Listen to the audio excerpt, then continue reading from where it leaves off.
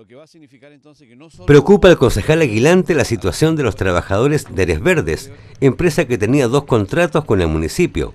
En noviembre culminó el barrido de calles y quedaron 14 trabajadores de los 75, por lo que considera que es insuficiente el servicio que se entrega a la comunidad.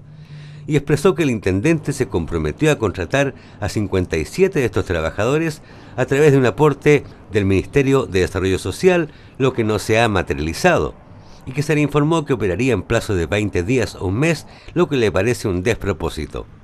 A esto se suma el hecho de los trabajadores del otro contrato, de jardinería y poda, notificados que cesaban en sus funciones en las horas previas al día de Año Nuevo.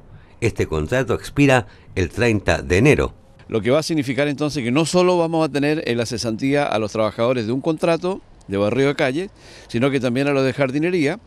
Y si no se toman las medidas eh, de manera providencial, de manera proactiva, estaríamos en presencia de una situación de alta cesantía de trabajadores que producto de no haberse hecho a tiempo las bases de licitación y cumplido con este proceso, no le permiten tener la continuidad laboral que por derecho ellos se merecen.